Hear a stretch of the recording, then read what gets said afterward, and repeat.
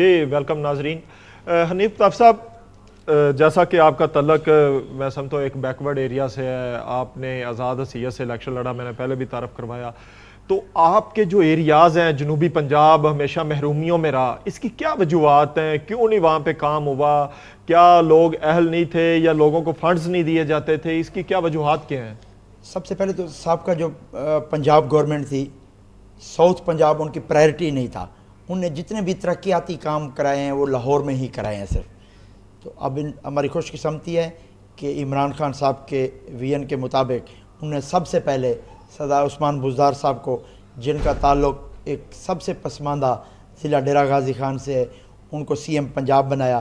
اور ہم انشاءاللہ امید کرتے ہیں کہ صدا عثمان بزدار صاحب کی قیادت میں پورا پنجاب نہیں، ڈیرہ غازی خان سمیت پورا پنجاب انشاءاللہ ترقی کرے گا۔ تو ڈیرہ غازی خان کے حوالے سے میں آپ کو بتاتا چلوں کہ میں ایک بزنس مین تھا اور تقریباً پچھلے دس سال سے ہم ڈیرہ غازی خان میں اپنی سماجی ایکٹیویٹی کر رہے ہیں۔ چلا رہے تھے۔ چلا رہے ہیں جس میں تقریباً ہم نے بہت ساری یونین کونسل میں فری ڈسپینسریز چلا رہے ہیں جس میں ہم فری سکول چلا رہے ہیں جس میں ہم نے وہاں پہ غریب اور کمزور لوگوں کے لیے فری آئی ہاسپیٹل بنایا ہے۔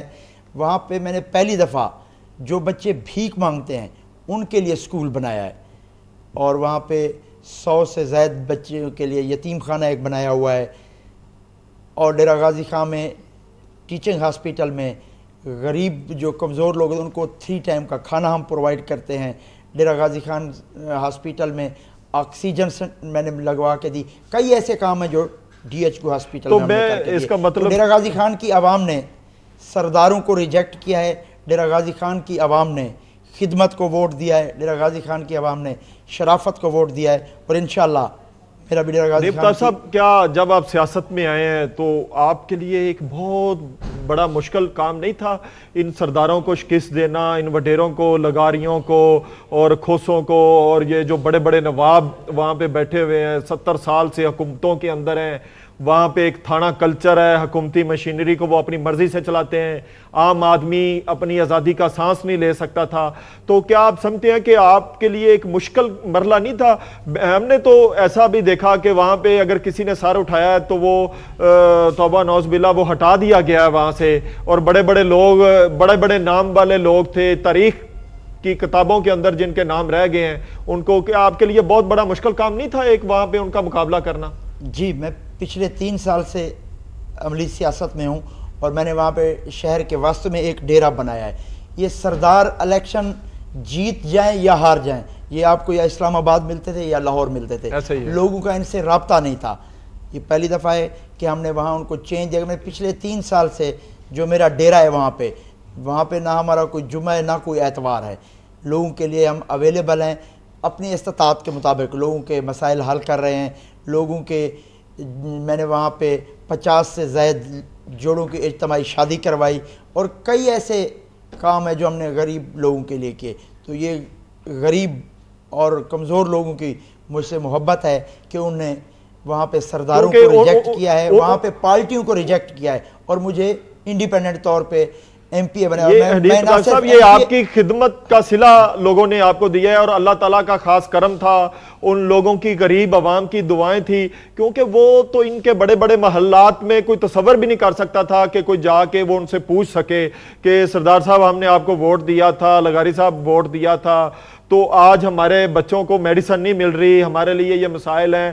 تو آپ تو حکومت میں بھی نہیں تھے، لیکن میں سمجھتا ہوں کہ ان لوگوں کے سامنے کھڑا ہونا، اپنی ایفرٹس کرنا اور پھر آزاد حسیت کے اندر جا کے اپنی کمپینز کرنا اور لوگوں کا سامنا کرنا۔ اور میں سمجھتا ہوں کہ آپ کو عام آدمی نے اپنے دل کی آواز جو ہے وہ بنا کے ووٹ دیے ہیں۔ تو نیپتا صاحب، آپ کے اوپر اب ذمہ داری بھی اس سے ڈبل ہو گئی ہے۔ انشاءاللہ۔ ڈیرہ غازی خان کی عوام کا اعتماد ہے کہ بھروسہ ہے کہ میں آج اس مقام پہ پہنچا ہوں میں آپ کو بتاتا چلوں کہ میرے پاس ٹکٹ نہیں تھا۔ میرے خاندان میں کسی نے کونسلر کا الیکشن بھی نہیں لڑا۔ میں نے پہلی دفعہ الیکشن لڑا ہے اور میں نے ایکس چیف منسٹر کو بائیس ہزار کے مارجن سے ہرایا ہے۔ اور نہ صرف میں نے اپنی سیٹ جیتی ہے، بلکہ میں نے پی ٹی آئی کے ایم این اے کو بھی ساتھ جتوایا ہے۔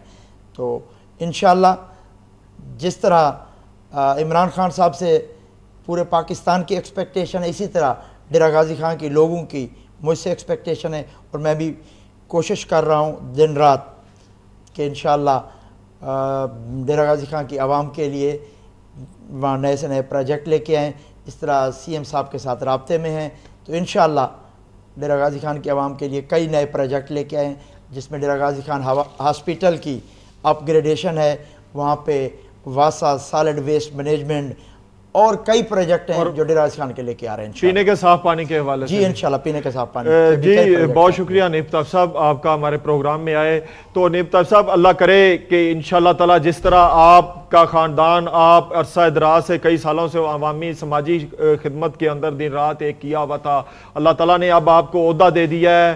اب آپ حکومت میں آپ کے پاس اختیارات ہیں۔ تو اب آپ کے اوپر ذمہ داریاں بھی زیادہ ہو گئی ہیں۔ اور یہ پہلی دفعہ پاکستان کی تاریخ کے اندر ہوا ہے کہ عام عوام نے ان وڈیروں کو، سیاستدانوں کو، نوابوں کو شکست دی ہے۔ ہر آدمی نے اپنے ضمیر کا ووٹ دیا ہے۔ اور یہ بہت بڑی بات ہے۔ آپ نے، میں سمجھتا ہوں، جہاد کیا، ان لوگوں کے اندر یہ حوصلہ پیدا کیا کہ آپ کے جو ان لوگوں نے حقوق چھپا کے رکھے ہیں، ان کے بچے تو اکسفورڈ میں پڑھتے تھے اور آپ کے بچوں کو یہ ایجوکیشن کی سہولتیں اور ہیلتھ کی سہولتیں بھی میسر نہیں ہوتی تھیں، کیونکہ وہ سمجھتے تھے کہ یہ لوگ ساری زندگی ان کے ہاری رہیں، ان کے غلام بن کے رہیں اور ان کی خدمت کے اوپر ممور رہیں اور ان لوگوں کو یہ نہ پتا چلے کہ ان کے حقوق کیا ہیں۔ یہ آپ نے ان لوگوں کے اندر ایک سوچ پیدا کی، ایک ولولہ پیدا کیا اور انہوں نے بھی ہمت کی اور یہ ایک بہت بڑا کام تھا، ایک بہت بڑا ٹارگٹ تھا اور آپ نے آزاد حسیت میں الیکشن لڑ کے عمران خان صاحب کے قافلے کے اندر ان کے سپائی بن کے شامل ہو گئے اور جس طرح آپ doctor Yasmin Rashid, C M Buzdar صاحب اور پوری ٹیم دن رات محنت کر رہی ہیں۔ ہماری بھرپور دعائیں آپ کے ساتھ ہیں، حکومت کے ساتھ ہیں، کیونکہ حکومت میں جو وعدے کیے ہیں، عام آدمی کے ساتھ وہ پورے ہوں اور اللہ کرے عمران خان صاحب اور ان کی ٹیم اس چیز میں، اس مقصد میں کامیاب ہو۔ اس کے ساتھ ہی ناظرین، ہمیں اجازت دیں، آپ کا اور میرا اللہ تعالی ہم یوں ناصر ہو